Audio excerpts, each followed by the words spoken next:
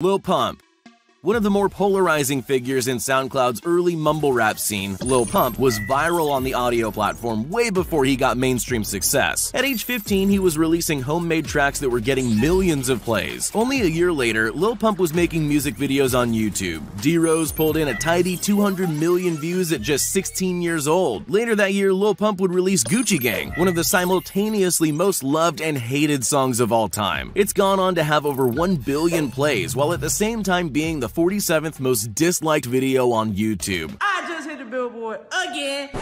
Well, it was before YouTube decided to remove its dislikes.